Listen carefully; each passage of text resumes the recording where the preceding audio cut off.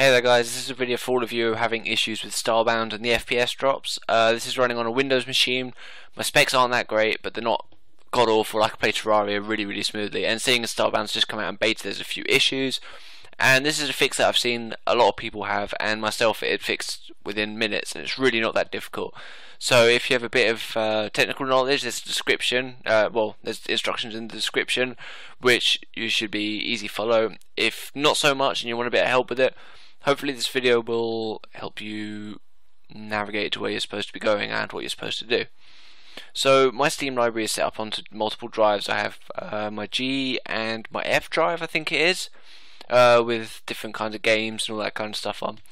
So what I've done is I've opened up Steam and I've tried to play Starbound and I'm getting stupid FPS drop and I can't do anything. Every now and again it'll be fine, but then I'll just get these stupid lag spikes and I won't be able to do anything. The game will crash and then I'll get a runtime error.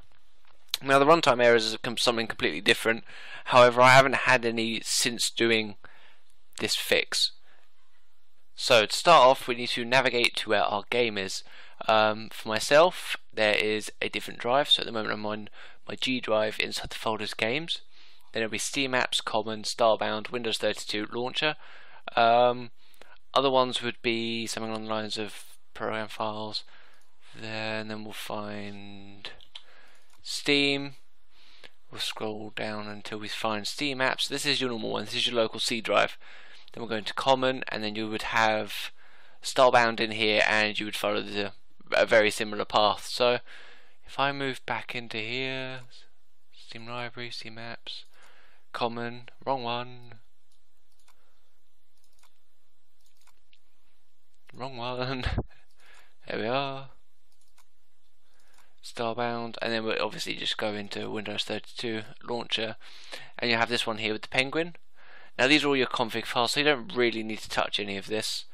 Um, so what we're going to do is we're going to right click, navigate over here, go all the way down to properties, up to compatibility. Now all of these should be unticked uh, if you're running on Windows 7 that is. If not, if you're running on XP or Vista, I think you need the latest uh, service pack, and then you would run it for the next machine up that you can. If not, you uh, keep all these unchecked, apart from run this program as an administrator.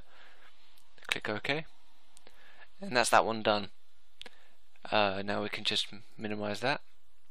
Go into Starbound on your Steam library and click play and you'll come up with this little user account control which some machines have turned off. I have it turned off on my work machine and stuff like that. And basically what this is doing is making sure you have permission to uh, load up this game.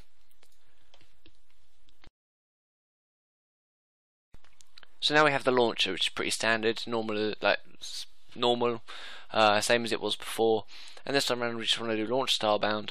And this is the time that I usually get my biggest FPS drop. Um, I usually lag out and freeze, so hopefully it won't be too bad. I've got my game set to 1280 by 720 and windowed mode because that's how I like to record. Uh, see, it's got not responding, so I'll move that up there.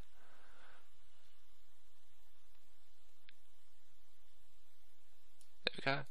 And now we've got no FPS drop. I'm moving my mouse in game, it's pretty fine. Go to single player, click on my random character Danger Twinkles.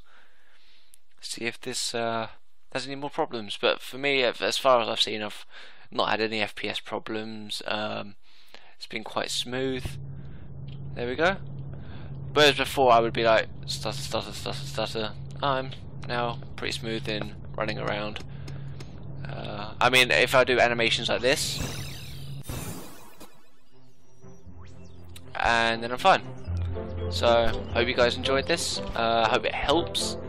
Uh, if you've got any questions, just post them in the description and hopefully I'll be able to, to get back to you.